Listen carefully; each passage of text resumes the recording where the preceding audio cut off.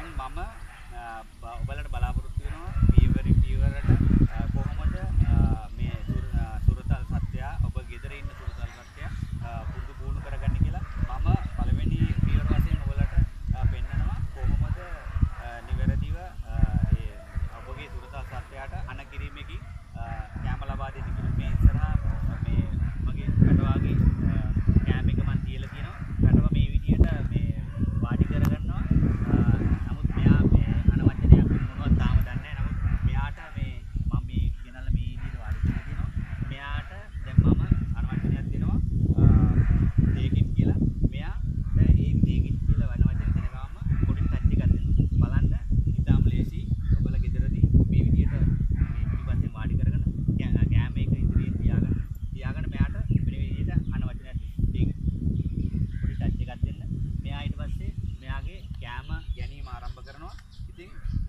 ලේසි පළවෙනි පියවර වශයෙන් මම ඔයාලට මේ කියලා දුන්නේ. මේක ඉතාම ලේසි.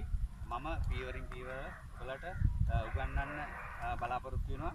ඉතින් මම තවත් දෙවෙනි පියවර වශයෙන් තවත් දෙයක් ඔයාලට ලබා දෙනවා. ඉතින් බලාගෙන